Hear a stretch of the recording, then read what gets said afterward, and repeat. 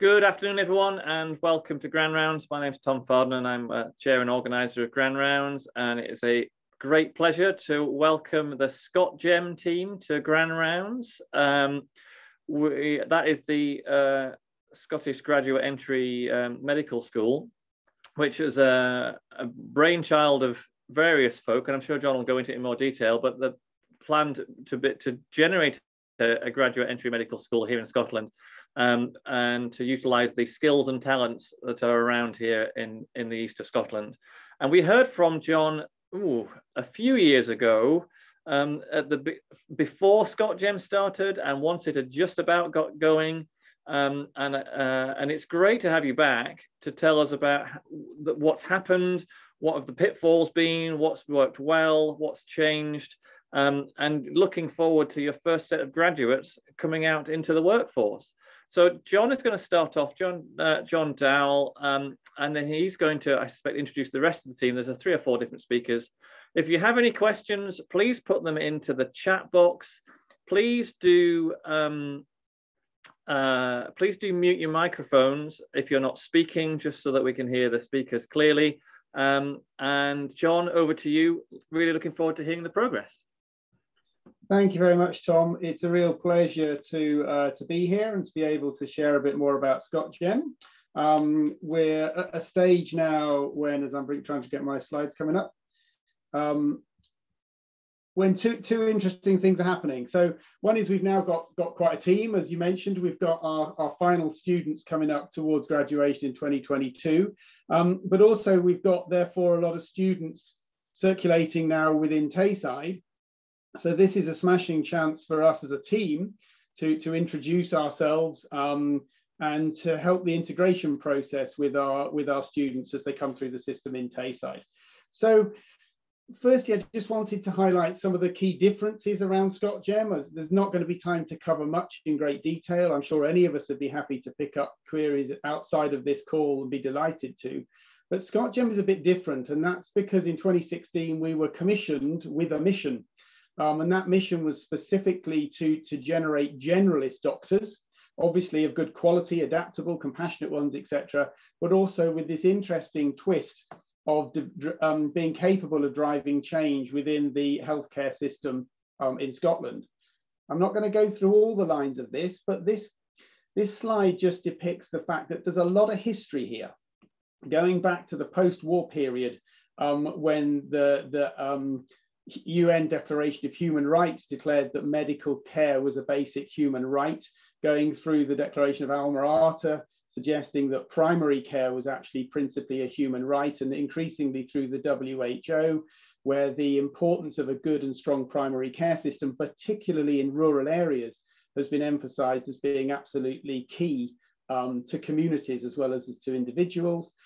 And then more locally in Scotland, it's very clear that there is in particular a rural workforce crisis, and that's very much been part of our original mission, but in fact has become one of the driving missions now under ScotGem because we've increasingly swung um, that way, I think, um, and that's just worth pointing out. So statistically, um, between 2009 and 2017, there's been a 3% fall in GP whole-time equivalents in Scotland. The vacancy rate, unsurprisingly, is increased. And that's not fairly distributed either. It's particularly rural areas of Scotland where this is a, a, a factor. And of course, it's worth noting that um, that has a particular impact in small communities, small rural communities. So actually underlying ScotGem is a, is a pretty firm, socially accountable um, mandate, um, which, which is driving very much the way we've designed the course. So uh, it's my real pleasure today to hand over to a number of, of, of, the team and indeed to welcome Kira Jones, one of our senior students who's going to, to support um, Angela's talk on Agents of Change. So um, Rob Scully is, or Bob Scully as I know him, is the lead of our GCMs and he will tell you more about what the, these generalist clinical mentors do and they really have become anchors for the curriculum.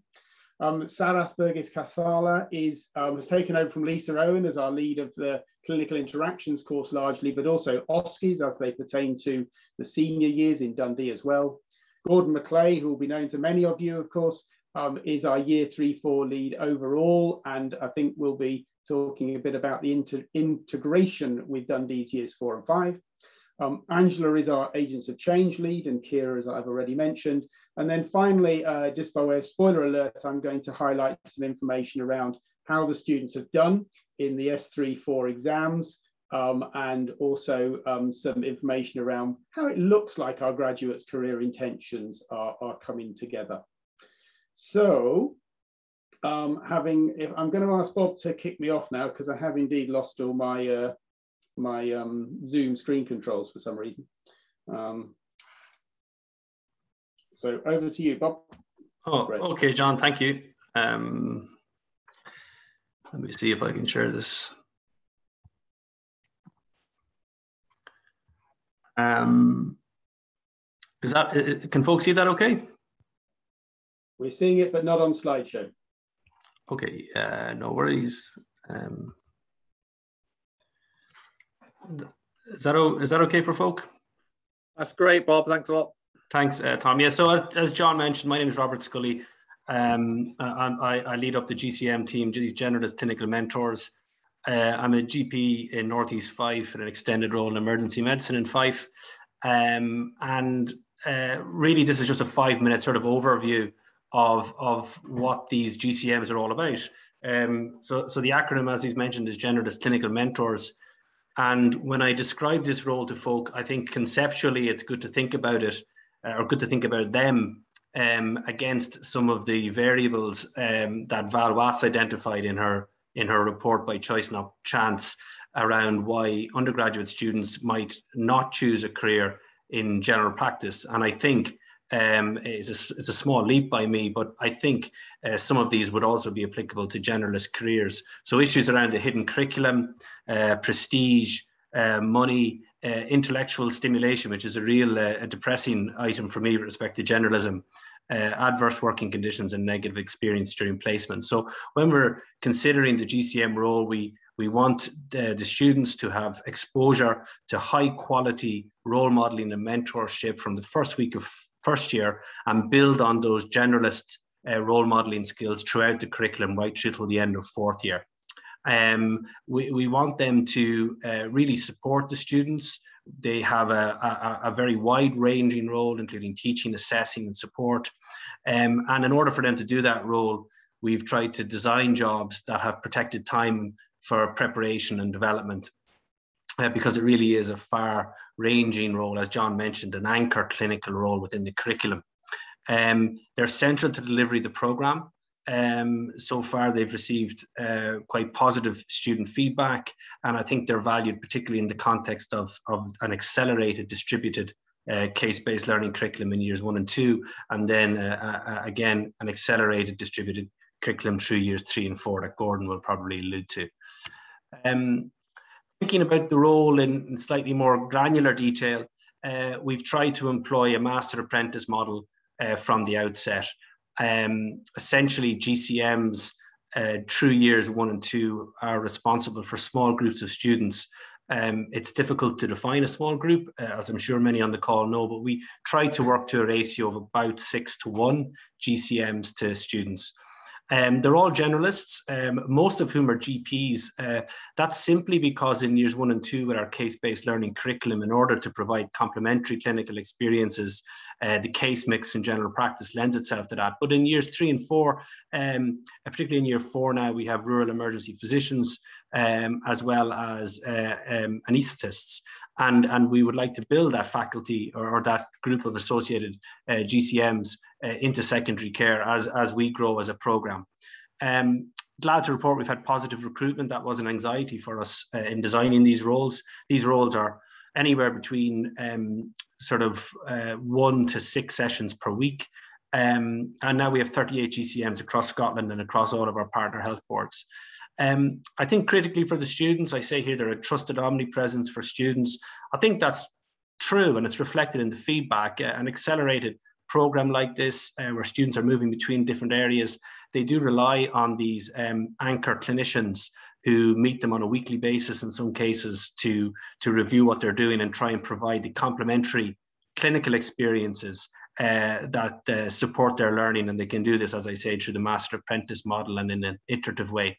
Um, uh, I'm lashing through this, but it's a, it's a novel role, uh, certainly within GP education. That, we're not aware of there being substantive uh, clinical roles like this with protected time for development. The previous sort of um, role that would have been used as a GP tutor, uh, and, and as we know, um, that can be uh, challenging uh, to provide protected time for in the same way often that uh, educators in secondary care may have had protected time.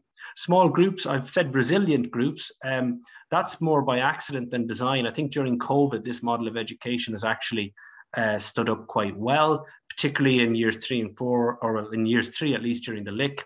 Um, we know that they're core faculty for the program. And, and really, I just mentioned here in the bottom right hand corner that they have a multifactorial role tutor, lecturer, assessor, and mentor. And, and we hope inspiration. Uh, uh, the word cloud on the right um, alludes to that. That's captured uh, some feedback from our students back in 2019. Um, speaking of feedback, um, really sorry. There's we've got lots of NES-based uh, feedback, both quantitative and qualitative. I've just put up this quote from a student. I don't think I could have captured the role of a GCM better myself. Uh, and clearly it's a quite a selective quote, but it might be interesting uh, for you guys to read um, whilst I'm discussing. And this did this feedback came to us during COVID when groups had had to move virtual and and um, and their experience for the students was obviously very much undermined, unfortunately. Um, final slide from me. Um, if you want to know more about what the GCMs do, I think it's best to hear directly from the students.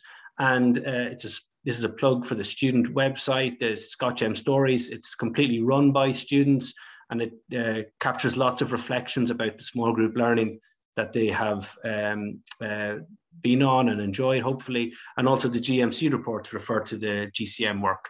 So that's, uh, that's it from me. Um, happy to take questions now or at the end, whatever, whatever works. Thank you. Thanks, Bob. So um, next up is going to be Sarath, but as I mentioned in the chat, if people want to put in questions in the chat while people are talking, we can pick them up at the end of their sessions, hopefully, or else they can they can answer them directly. So do feel free to, to bung things in. We will be rattling through things a bit, but there should be some time to cover cover questions. So uh, Sarath, can I invite you to step in? Yep.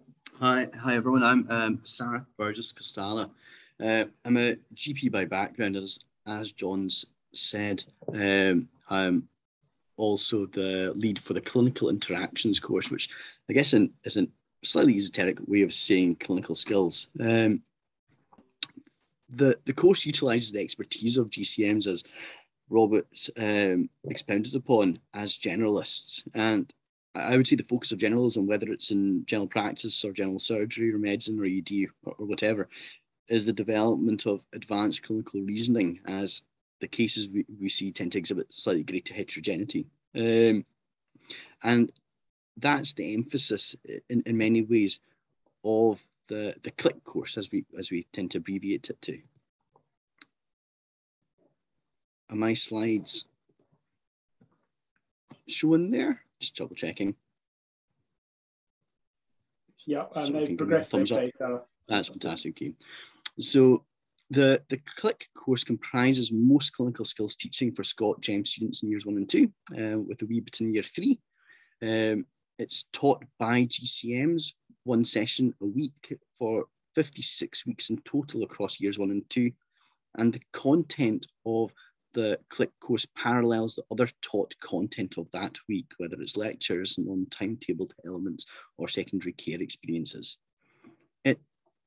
integrates the teaching of communication skills, clinical examination, and procedural skills, and does so through a set of scenarios. These tend to use simulated patients, sometimes peer examination, and sometimes, especially for acute cases, mannequins. Um, students are therefore taught how to conduct a history and perform a clinical examination appropriate to that patient's complaint. And by doing so, we aim to develop clinical reasoning as clinical reasoning skills as students are required to decide what is and what isn't relevant in a clinical context.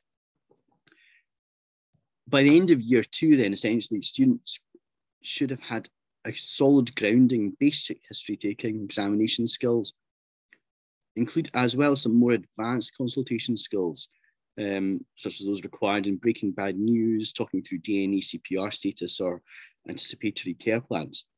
They will also have opportunities to learn the majority of procedural skills in a simulated context.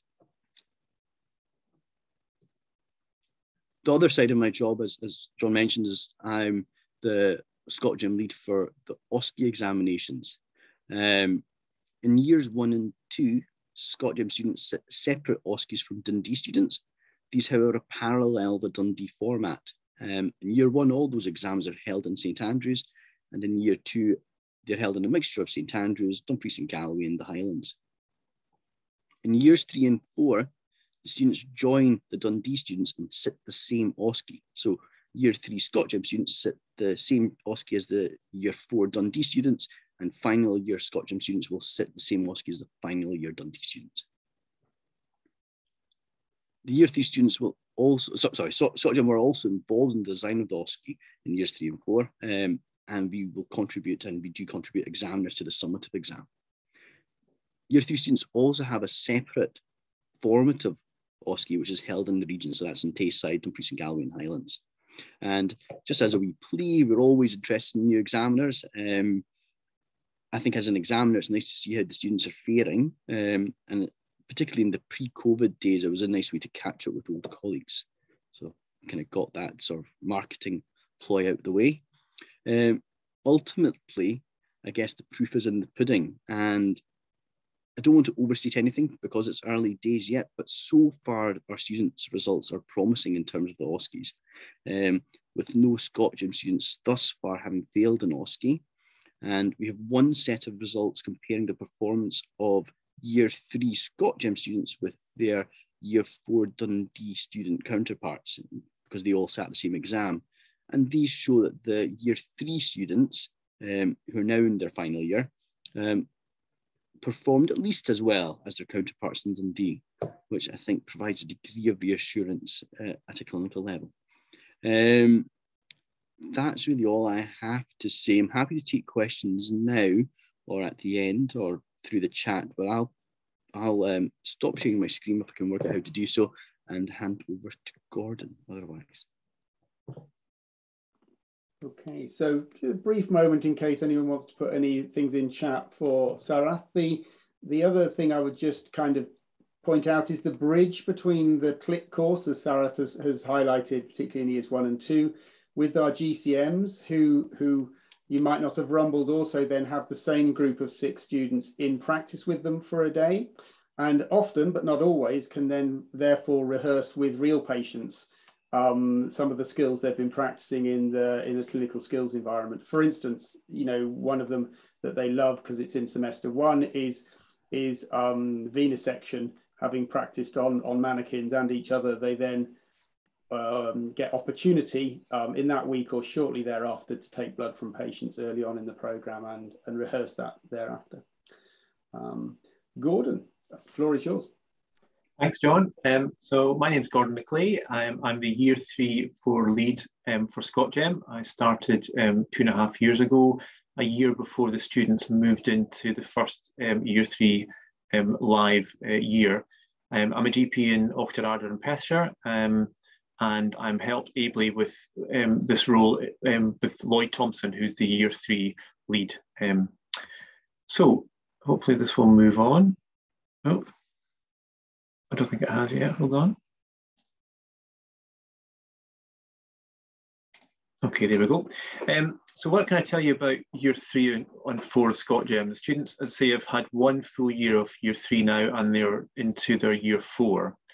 Um, the big change really is that the students in year one and two have really been primarily the responsibility of the University of St Andrews and they move in year three to become the responsibility of the University of Dundee and to all intents and purposes become Dundee students, although they are still very much ScotGem students um, because this is a programme which is part of both St Andrews and Dundee universities.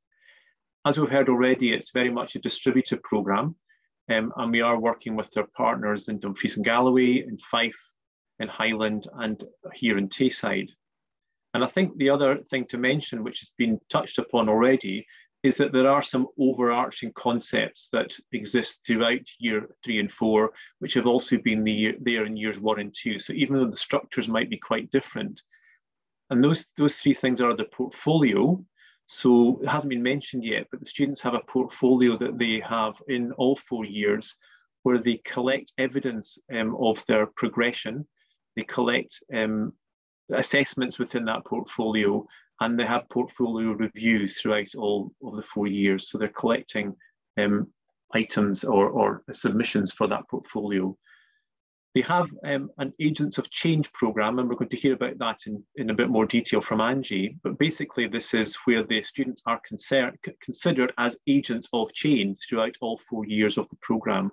Um, and then they, they, they have the generalist clinical mentors, and, and Robert's explained that in a bit more detail. And this again is a, is a, is a core element that goes through all four years, where they have contact with um, their GCMs to help support them throughout the programme albeit that those groups are slightly differently run in each year. Year three specifically is what we call a longitudinal integrated clerkship. And this is really quite different to the way that most of us probably have gone through medical school in that we are sort of turning the whole system on its head in that traditionally what we would have done would have been block teaching, which might have included a block um, out in general practice. What we're doing is turning that around and saying that the students will spend the whole year attached to a single general practice and spend time going from that general practice out into other places to get their experience. So it is really a reverse of what might normally happen. So they are based in a practice for the whole year for 40 weeks. 50% of that time is clinically spent in that practice. And the remainder of the week is spent collecting secondary care experiences, doing project work for agents of change, and very much self-directed learning um, as students. This map shows you the distribution of practices that we have um, been successful in recruiting across Scotland for the students to have their experience of the, the LIC or the LIC. And you can see that for this year, in year three, we have students placed in and around Dundee and Tayside and Perthshire. We've got them around Inverness and around Dumfries and Galloway, but we have got um, a student on um, Tiree and we have got a couple of students up in Orkney as well, and up in Caithness and Sutherland. So there's a, a very wide distribution of students, which you can imagine in itself brings challenges with the students being quite remote um, and distance from each other, and having GP tutors, again, quite remote and distance from each other. So they have their time in, in general practice, so they're there for five sessions, getting experience from their GPs, um, the other members of the team, seeing patients. What about their secondary care experiences? What do we mean by that? So if they're going out into secondary care, what do we want them to get? Well, there are three elements of it that we, we anticipate will happen during that longitudinal clerkship. The first is the, what we call the patient journey, and that is we want the students to follow patients from the practice into secondary care and see what happens to that patient over time, rather than simply seeing a snapshot of the patient at one clinic or in one general practice setting. And what we'd like the student to do, to do that hopefully in two different ways. One, acutely, although this is actually very difficult and it's proved very difficult for students to do, and that is to follow somebody who needs an acute admission into hospital, and then to follow that, that, that patient as they have their acute admission and see what happens to them, and then follow them back into primary care when they come home. The other, the other possibility, which is perhaps a bit easier to organise, is to follow them up in a planned way. So if a, if a patient's referred to a clinic um, or referred for a diagnostic procedure, is to perhaps arrange with that patient um, uh, to go and spend some time with that patient when they go to the clinic or when they go in for the diagnostic procedure to see what actually happens. So for example, if they're going for an endoscopy, then perhaps to go and see that patient having their endoscopy rather than perhaps going along to a full endoscopy list, which, which might be something that happened in the past, although we can talk, talk about COVID and how that's impacted on it. The other aspect are planned experiences. And so rather than the, the student having to organise this, then there are things that the secondary care um, uh, colleagues will arrange for them. And, and these might be things which we call acute care bursts. So these might be a couple of days um, looking at what happens in an acute admissions ward, following the foundation doctors, or it may be organised specifically for geographical reasons. So you can imagine that coming down just simply to follow patients into hospital if you're in, in Wick is not really appropriate. So in secondary care, blocks of time will be arranged for them to come down and spend time in Raigmore. And then the final um, option is for students to actually, through their own needs, identify things that they want to do in secondary care and then arrange those in secondary care. So those might be clinic attendances or again, diagnostics or really anything they feel they are missing as part of their, uh, their general practice primary care attachment. And they would arrange that through secondary care to go into their, their secondary care um, attachments and get that experience. So that's year three, and I've just kept it brief, but we can talk about that in more detail if needed. Year four, which we're now doing for the first time this year, is very much the traditional Dundee year five, where our students are joining the block rotation. Um, but what's been a challenge for us and for the university and, and for everyone really is, is the whole idea of capacity for students. Because we are adding in, um, in our first year, we had 54 students. This year, going into year three, we've got 53. It's that increased capacity in the number of students. So, what we've worked, done is work very closely with our colleagues in the other health boards in Dumfries and Galloway, Fife and Highland to create that additional capacity and we've done that by creating regionally resident students for their final year. And my figures there show that we've actually got 28 ScotGem students who have chosen to go regional for their final year. 14 in Highland, 12 in, in um, Fife, and five in Dumfries and Galloway. And in addition, this was offered to Dundee students, and three Dundee students have chosen to go regional for their final year as well. What we've also done is managed to create outblocks for Dundee-based students, both for foundation rotations and for SSCs in our regions. And, and essentially what we've done is created an additional 150 or, or more than 150 new SSCs and clinical blocks and foundation posts. Um, so ScotGem has come along with a requirement for more capacity and what we've been able to do in our, in our regions with, our help, with help from our regional leads and we're very grateful for that, is to create that increased capacity. What can I say about year three and four overall so far? Well, the positives are that, as has been mentioned already, our students have done well in the exams overall. So um, both in the formative exams and in the important summative exams at the end of year three, they've done as well as the, the, the standard Dundee students. There's no doubt with the feedback we've received from the students that they've enjoyed very much the clinical experiences both in primary and secondary care um, they really value the time that the clinicians are giving them in, in getting that experience. The students themselves are very well received. We've had very positive feedback about the students themselves, both in general practice and also on their secondary care attachments, about their approach, their professionalism, their maturity. And the agents of change, which we're going to hear about, we've had some very positive outcomes in terms of the work that the students have done. The challenges, well, there are always challenges, and I think the three I've highlighted here, I think, are the three main ones. The first is that transition. So they're moving from a very organized teaching um, structure in years one and two to very open-ended structure in year three, and the students have found that quite difficult. So that lack of structure is a, is a problem for some students in the longitudinal clerkship. And the other thing which has been a challenge, in particular the first year when it was during COVID, is that access to secondary care. Um, people not knowing who they are, and that's a learning process, I think, because they are new in the system, feeling that sometimes they're having to squeeze in among the other students who are, who are better known, both in, in Tayside and in Highland, where they take Aberdeen students, and just the capacity issues again of, of getting access into placements in secondary care. So I'm going to stop at that point, and again, I'm happy to take questions at the, at the end of the presentations.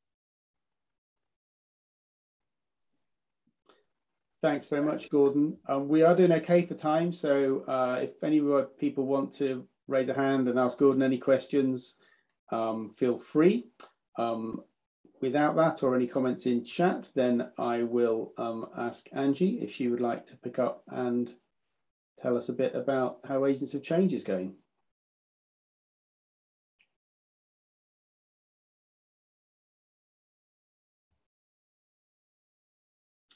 Are you with me there, Angie?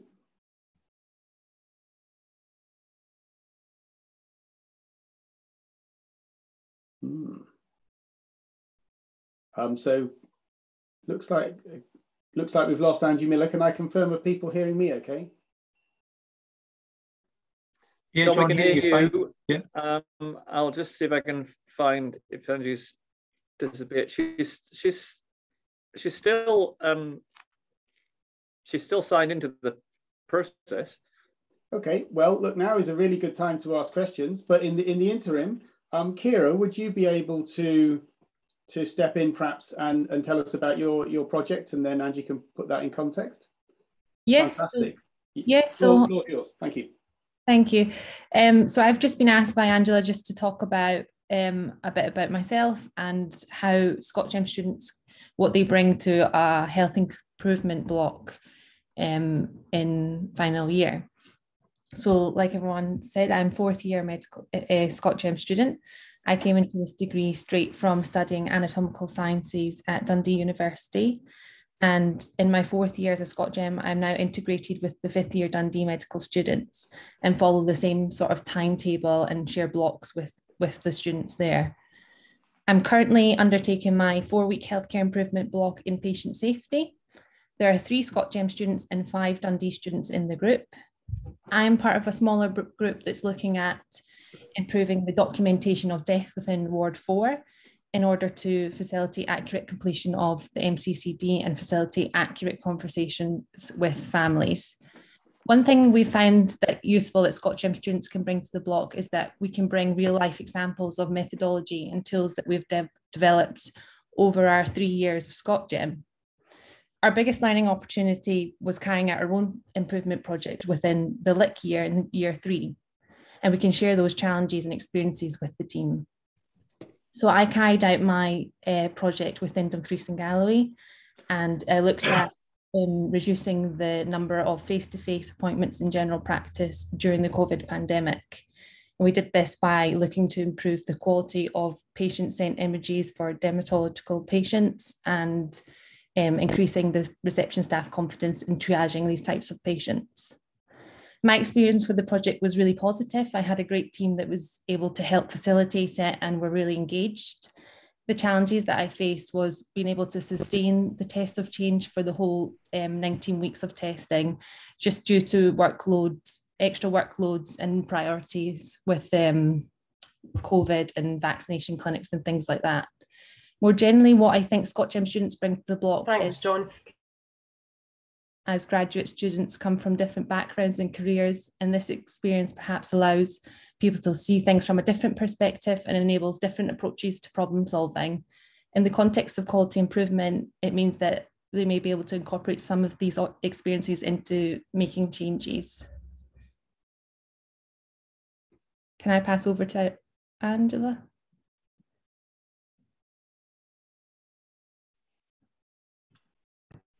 Are you back with us, Angie? All yours. Thank you for stepping Here, in. Here, can you see my uh, screen? We can see your screen, but it's not in slide view. No. Yeah, I'm here. Angela, I've just done my section.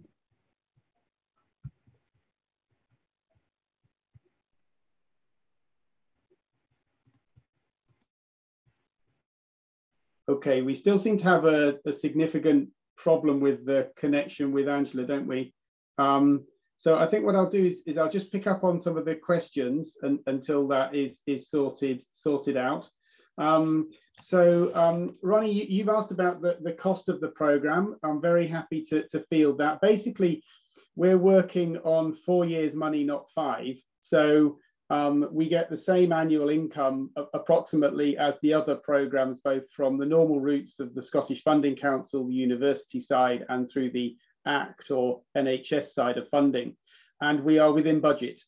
So um, it's not, it's actually cheaper, if you like, than, than other programs. Um, but the way we manage our money is slightly differently and, and i think we have rather better control over how it gets used. And it's that in particular that has allowed us to disperse the program around the boards at speed um, and also decide where to invest in particular investing in, in a lot of expensive staff in the form of GCMs um, and, and that's why evaluating them and seeing how they've how they've done is, is absolutely key from, from our, uh, our perspective happy to give a bit more detail on that if you like, but um, but basically we're, we're actually overall um, significantly less than the, the budget that, that we're, you know, potentially would be available for a normal five-year student. Um, so I'm just uh, scanning down Kevin's question um, here now. Um, so yeah, the, the, as Kevin points out, we were hoping that we would be able to have a positive influence on the GP workforce over time, obviously through supplying graduates who might be interested in general practice, but also through invigorating GP educators.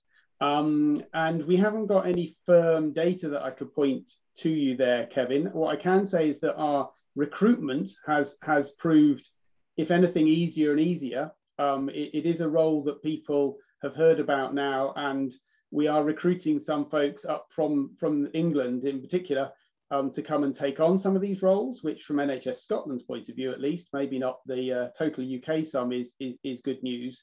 Um, and there is a sense that we are bringing some, some positivity and fresh blood in, into the workforce. Um, and I say that on the back of the um, remote and rural GPs conference recently in Inverness, where where there was um, a considerable buzz and enthusiasm around around the impact and arrival of ScotGem students um, in, in areas that aren't typically heavily involved in, in undergraduate education.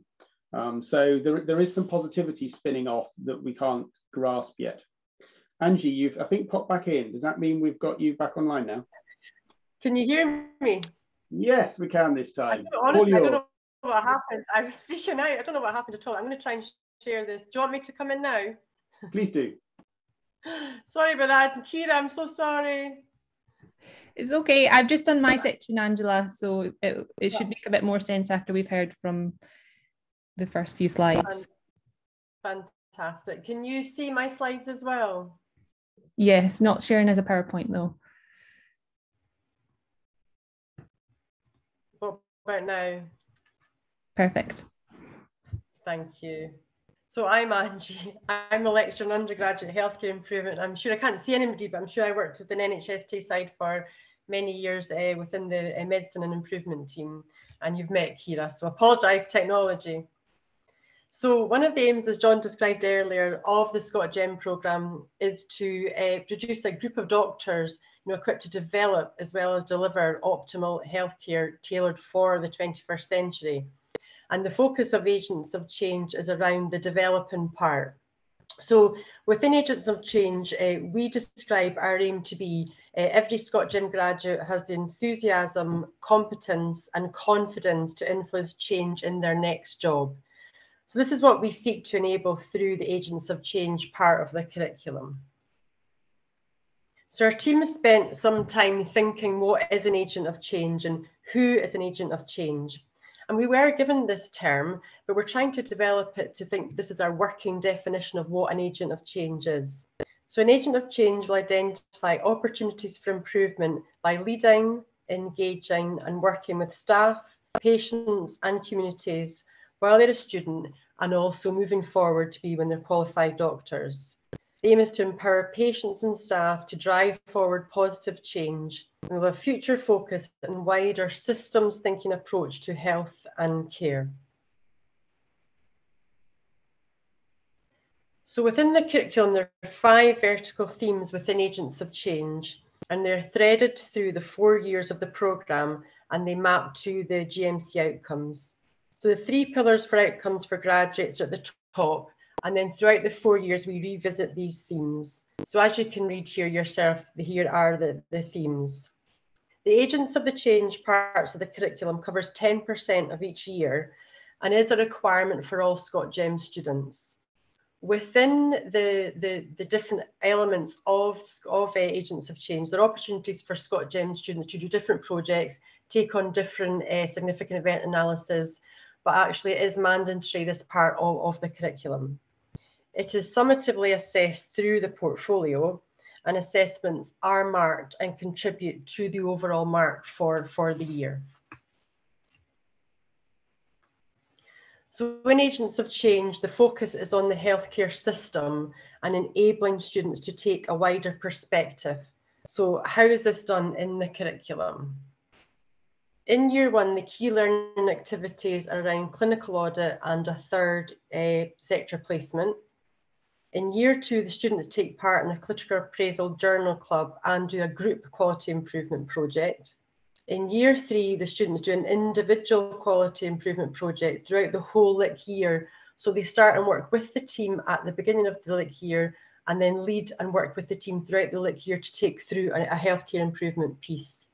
In year three, they're also involved in a community engagement placement and do two significant event analyses that they lead within the practice. In year four, they do a group uh, improvement project during the four-week healthcare improvement SSC. And again, they work with a team in a group within secondary care to take forward a piece of improvement work. They lead an adverse event review and they do personal reflections related to the portfolio. In the future, we also see connections with electives uh, when they're available and the global health uh, module. You can see here a couple of uh, quotes from students as they actually progress through the Agents of Change part of the curriculum and began to understand and got it, if, if you like. And again, through Agents of Change, we really focus on learning uh, through doing either individually as a group and working within obviously within their clinical uh, placements. So an aspiration uh, for us within Agents of Change is for the activities to contribute to the wider system. So each year we have ScotGem students undertaking projects that contribute to improving services for both patients and staff. So each year there are approximately 15 audits in primary care, 100 community engagement projects, and now well over 60 quality improvement projects, and about 150 significant event analyses and adverse event reviews. So it's an opportunity really for, to be, for students to be working with the clinical teams uh, to really benefit uh, you know the clinical teams patients and staff with all the work that they're actually doing now, Kira was going to come in here. Uh,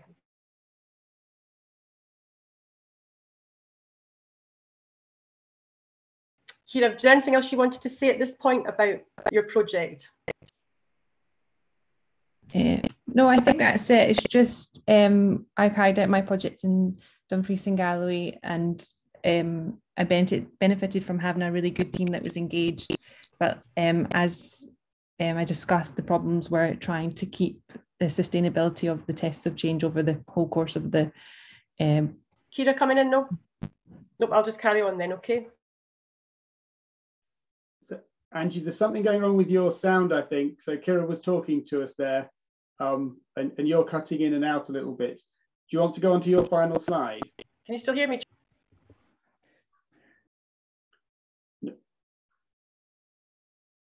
Not, not reliably. Have a final go. Can you still hear me, Jon? Okay. Uh, you pop back in. Last go. Last go.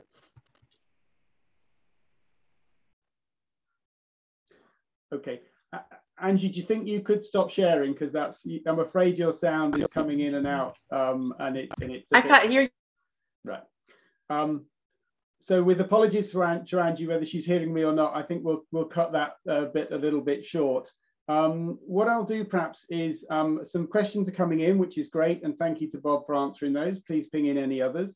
Um, I will just finish off with my last few slides, um, and then those that want to can stay on for for for questions and things. Um, so let me do the deed again.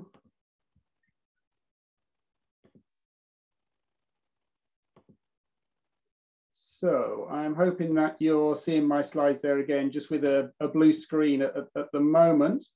Um, I'll go back to that actually.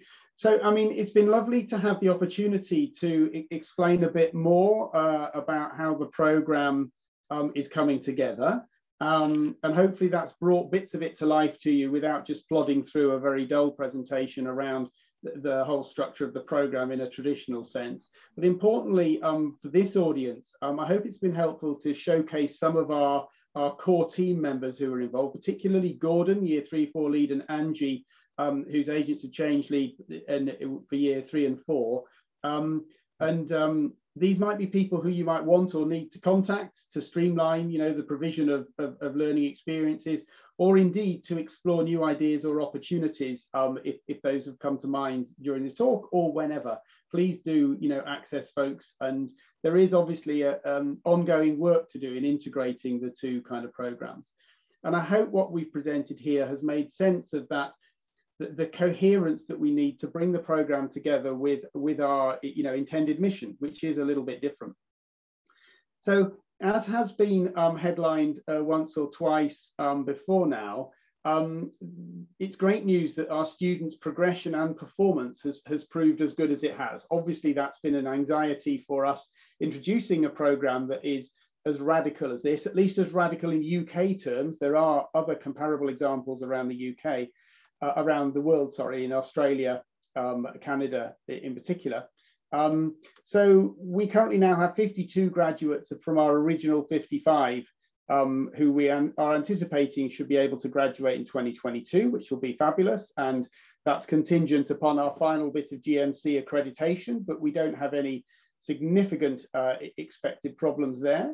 Um, and the other three are all still on the course. So, so far we've lost no students. The average attrition rate for a UK medical course across the duration is around seven to 8%. So that, that's a good hit rate um, and something we, we and the students should be very proud of. And as um, Sarath has mentioned, no, no single ScotGem students have had to resit any OSCEs, including that's the um, ScotGem Year 3 or Dundee Year 4 OSCEs, where the standards are very definitely directly comparable. And indeed, in terms of performance, the ScotGem cohort at that stage actually outperformed the, the Dundee cohort slightly on the OSCEs, and they underperformed compared to the Dundee cohort on the single best answer knowledge-based assessment with no significant difference overall. So I think that's a fantastic achievement for the program and for the students. Um, and for a first year result is, is something that everyone can be hugely reassured uh, by and, and justifiably sort of proud of. Um, so in terms of the standard of what we're doing, despite offering a program in which 50% of all clinical education is provided uh, or, or, overseen by general practitioners, which is, is fairly atypical, um, and with a heavily self-directed component in particular during that LIC year, um, it does, as has been shown elsewhere, it does work um, which is quite a, a, a, fantastic situation to be in. A little graphic here that I'm going to share because it. it Jon, Jon, um, you no, can't see any slides, Jon. Oh, okay, that's weird. You're hearing me okay, Gordon, are you? Yeah, yeah, uh-huh. Let me, were you seeing any of those slides? Not the ones just now, we just heard you, saw you talking. Here we go, see it now. Okay, is that full screen? Uh, it's not quite on slide. You can see the slides down the left hand side and the main slide in the middle. Okay. It's not full screen. That's it. Okay. Um, so we've done a survey of all of our first three years uh, of students, not not the the current first years who've just entered, um, and asked them amongst other things around their career intentions. There was a, a heavily expressed intention to be to be a rural general practitioner, if you like, at the stage of admissions, which we, of course, couldn't totally kind of trust. And students, of course, have had a lot more experience now as they've gone through the program, which has become a pretty thoroughbred um, remote and rural generalist focused program. Um, so uh, across the, the bottom bar here, starting with the big blue uh, blocks in, in the left-hand corner, every dot is one of our student responses and the response rate was 77% overall. And you'll see from that that around half of our students, almost exactly half of our students, are saying they do want to work in a rural environment, and that would be a town of 10,000 or less. So that's the equivalent of Thurso or Wick. If they said Dumfries and Galloway or Perth, for instance, that would be that would not be considered rural. Um, so we've taken a fairly strict definition of that. Um, and around half say they'd prefer to be focused on an urban career. Um, the blue dots are those that are saying they uh, are clear they are intending a GP career, and that's around 37%. Um, the yellow dots uh, are saying they're pretty clear they want a consultant career. So unsurprisingly, they are more urban focused perhaps. Um, though again, the yellow dots there, if they wanted an urban career in Dumfries and Galloway, Perth, Inverness, they would actually be in that urban category there. Um, and that's just over 20%.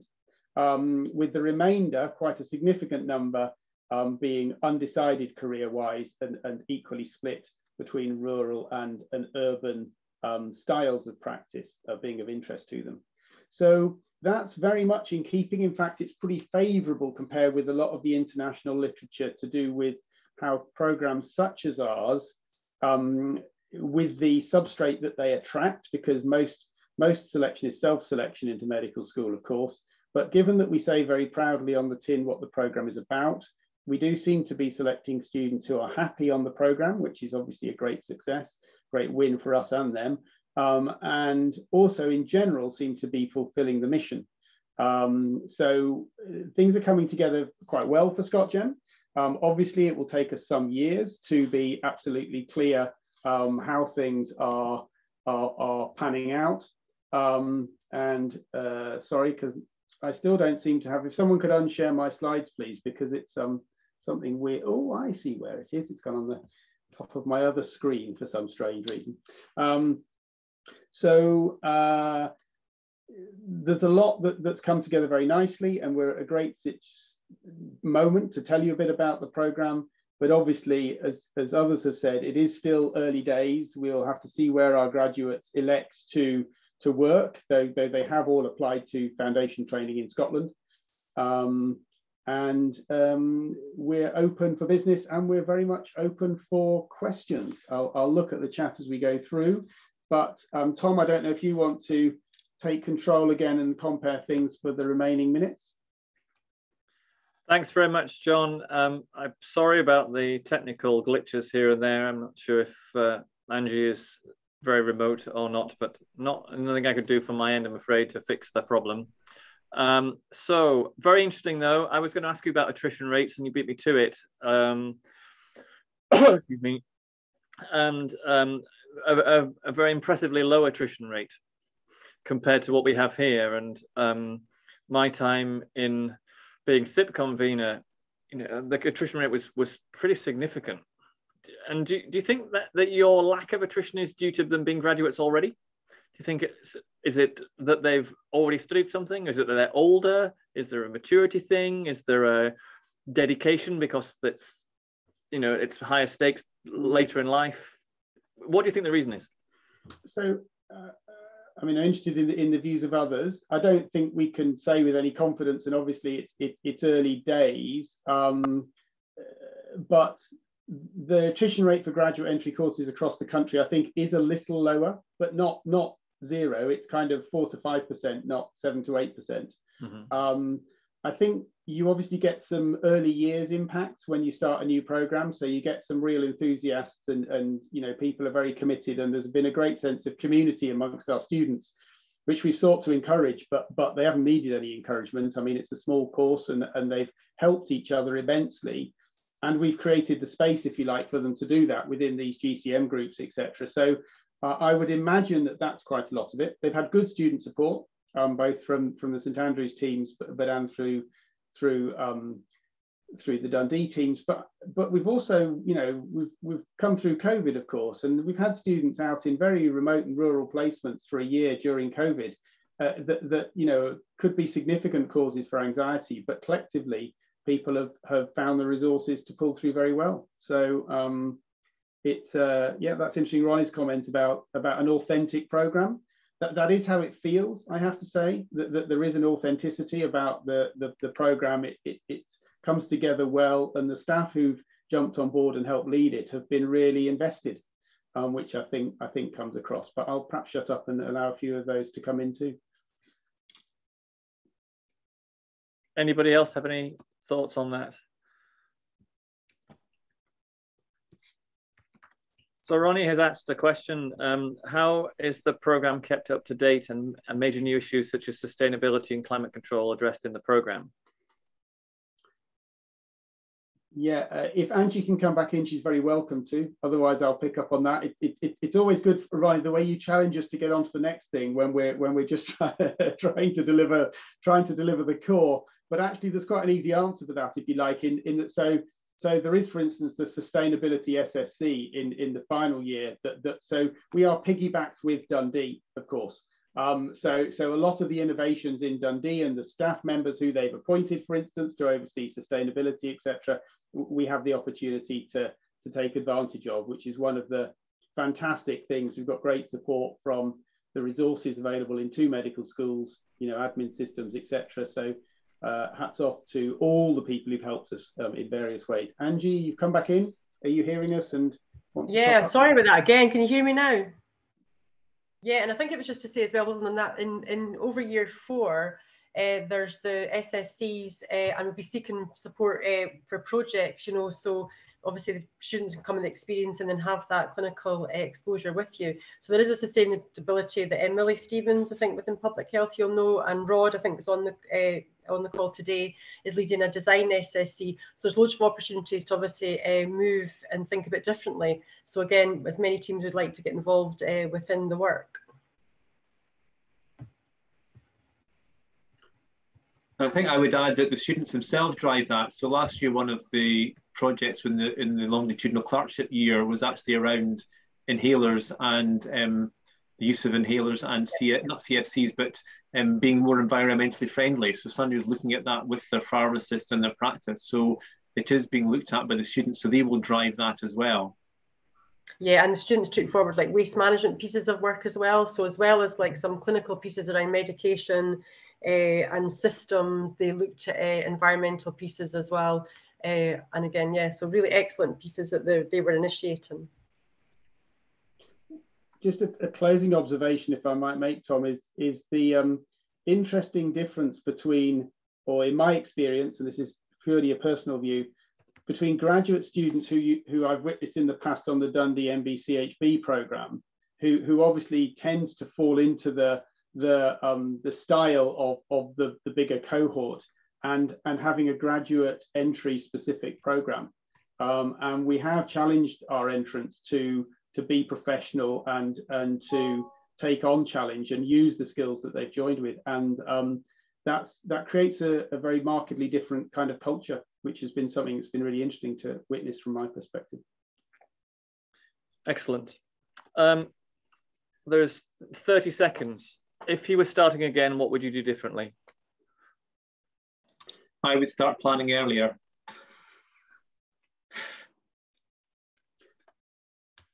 Yeah, it's all been far more last minute than we would have chosen. Yeah. Okay, I think we would all wish for a time machine, wouldn't we? If we could all go, uh, if we could all have a bit more time. Um, right. Well, thank you very much for, to the team for that talk. Really interesting to hear how things have gone um, you know, I was involved in the build up to it, and then of course it all sort of disappears, and we know it's happening. But it's great to know, you know this amazing work you've put together, and the, the students are all obviously happy, and um, look forward to seeing the graduates come out and, and hitting the workforce. It's really fantastic, and, and always a pleasure to have you all here at Grand Rounds. Um, and next week, no grand rounds. The speaker, unfortunately, uh, due to illness reasons, can't present. So they'll be moving into next year. So you get a week off. Uh, but there is a grand round the following week and it is uh, about porphyria. Um, so uh, Robert Daw is going to come and talk about the National Porphyria Service, another speaker I've been chasing for a couple of years to talk about that interesting topic. So um, this talk will, when I get around to it, get edited and shoved up on YouTube so you can see it um, later on, along with all the other grand rounds that are recorded since 2015 onto that YouTube channel. Please do like and subscribe. Uh, we have 499 subscribers, so you could be that lucky 500th subscriber to our YouTube channel. Um, right, thank you very much, everyone. Um, enjoy your afternoon. I'm off to clinic. Thanks very much. Bye-bye.